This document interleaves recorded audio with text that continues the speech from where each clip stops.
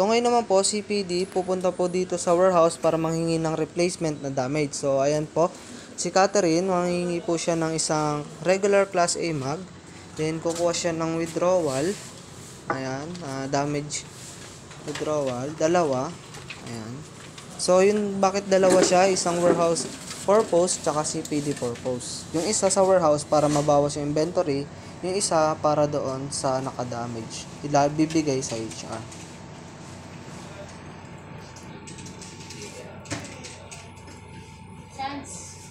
Ayan, so, tapos na ibibigay niya na po ngayon kay, stock, kay Stockman ng other product. So, ayan, pupunta siya kay Allison. Ayan. Ngayon, pag nabigay na kay Allison, kukunin na ni Allison yung ano, white mug. So, ayan. Papunta siya sa pens.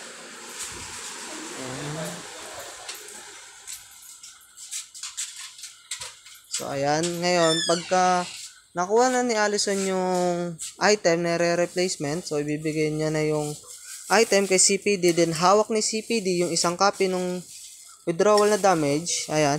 Ngayon, si Allison, ibibigay niya yung withdrawal damage kay Risa. So, ayan. Para ma-encode ni Risa. So, ayan. Si Risa, withdrawal damage po.